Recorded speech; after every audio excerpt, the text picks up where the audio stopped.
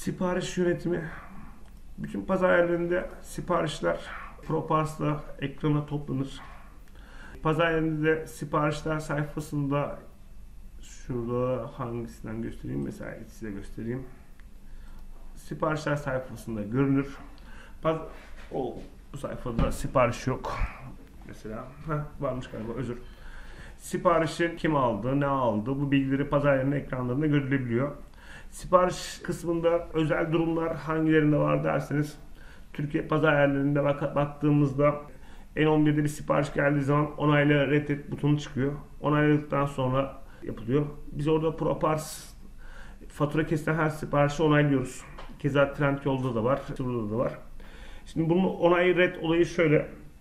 Bir sipariş geldi, siparişi onayla yaptınız. Sonra bu siparişi göndermezseniz size ağır bir cezası geliyor.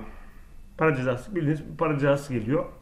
Bu cezalı duruma yansıtmamak için pazarda şöyle bir şey yaptı. Gelen siparişte müşteriden önce bloke yapıyor. Yani satıcı siz parayı siparişi onayladıktan sonra müşteriden kartından blokeyi para çekerek sonuçlandırıyor. Orada diyor ki sen bu siparişi onaylarsan ben sana onaylayıp da göndermezsen ben sana ceza keserim.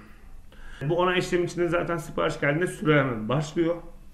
Orada pazar yeri der ki yani derdi şu siparişi en hızlı en doğru şekilde sonuçlandırmak. Derdi o. Ne kullanıcı günlerce sipariş beklesin gelmesine ne de iptal olsun.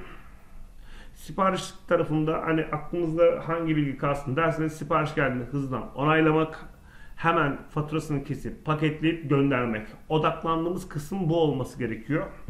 Ama onun dışındaki siparişle ilgili her veri zaten Propars ekranında pazar yerinden otomatik olarak geliyor. Panel anlatımında bunu biraz daha detaylandıracağım sizlere.